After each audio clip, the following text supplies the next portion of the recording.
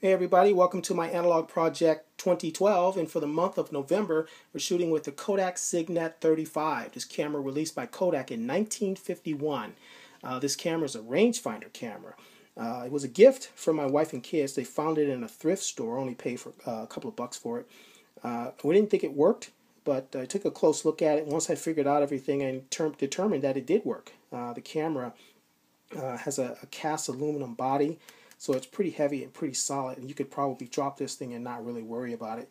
Uh, back in 1951, that's how they did things, I guess. This camera uh, a 35 millimeter rangefinder camera. Uh, it has a, an Ektar 44 millimeter f 3.5 lens.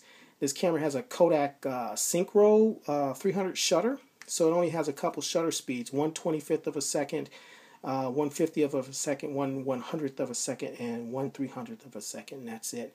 Uh, and the aperture goes from uh, like uh, 22 f22 all the way up to or, or down to a f3.5 uh, the camera uh, doesn't have much uh, to it. To use this camera you open the back. Well first of all let's look at the back here. There's a little scale here a little computer that allows you to help get your exposure correct you have a, you know a night and a day setting on here a film and a flash button and it's not really hooked up to anything. It's just more of a guide that you use to uh, to determine your uh, your exposure based on your lighting conditions. So you'll have a, an f-stop scale on the top and a shutter speed scale on the bottom. So based on your lighting condition and the type of film that you're using, you know, X-Pan and and uh, you know whatever, you're um, you're basically just uh, lining up these scales and determining your exposure. So that's pretty much how it works. And I did take a look on the uh, on the inside of the camera uh, it was pretty clean. This whole back uh, comes off like that. So the inside of the camera, you probably can't see that, but it was uh, pretty clean. So um, I ran some film through it.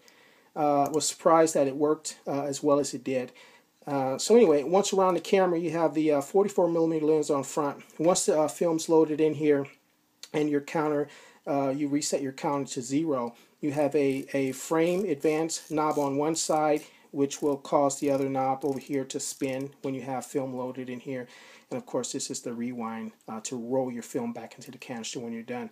But basically what you're doing is you look at the lens here and we have on the front, we have uh, the shutter speed dial. So you twist this dial to select your shutter speed.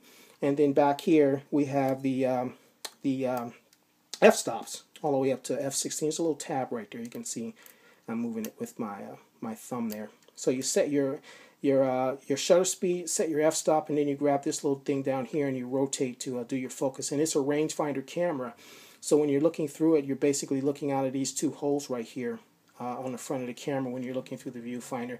And it is a very tiny viewfinder, and I find it, found it hard to, to see what I was doing uh, when it comes to composition. So I just kind of got to a point where I was just going to aim the camera without even looking through the viewfinder and hope that I got uh, my composition correct. But once you um, uh, you set your shutter speed and your f-stop and you get your focus. You have the uh, lens, um, the uh, shutter cocking mechanism right here, this little lever. You push that down like that to cock the shutter and then you have your shutter release button over here. When you press it, um, it releases the shutter and it resets itself so, so you can shoot another uh, photograph. So there you go. Very simple to operate. And there's also a PC sync port, an old uh, old school uh, PC sync port that goes here on the side if you want to use a flash. And that's pretty much it. There's not much else uh, to say about this camera. But surprisingly enough, it takes decent photographs. I was happy with the results. But it's one of those type of cameras that forces you to slow down and uh, really concentrate on, on what you're doing.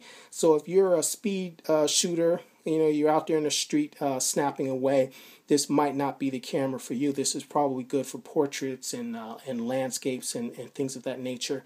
Uh, if you if you're intent on shooting on the street with something like this, you're best to go with a Sunny 16 rule and uh, maybe hypo hyperfocal uh, distance. Um, the method where you're setting your your f-stop and your shutter speed based on um, a few other criteria. You look up hyper hyper uh, distance and you'll you'll see what I'm talking about. It's a, it's an old method that sports photographers used a lot.